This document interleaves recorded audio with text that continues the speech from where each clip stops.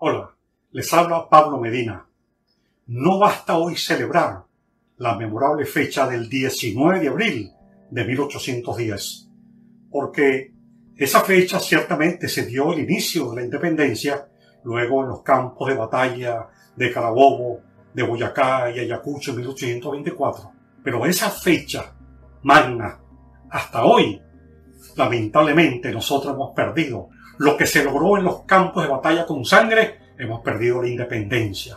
Y hoy Venezuela es una colonia de la tiranía cubana, una colonia del Partido Comunista Chino, de los de de los grupos terroristas, de los grupos del narcotráfico que controlan el territorio, el Estado y han secuestrado a la población venezolana.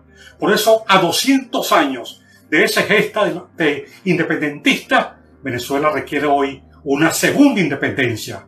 Pero para lograrlo necesitamos la máxima unidad, juntar la fuerza de la resistencia, de los sectores religiosos, de los empresarios, los trabajadores, los productores y también aquellos oficiales que no están comprometidos con la, con la corrupción y el narcotráfico y especialmente con los sectores populares, la gente de los barrios, los más pobres que llevan el peso de la carga de la, de la destrucción. Por eso Hoy más que nunca se requiere esa unidad para lograr la batalla decisiva por la segunda independencia. Contamos con una coalición internacional que nos apoya, que fue el equivalente a la Legión Británica en el campo de Carabobo y a aquellas batallas independentistas. Vamos Venezuela.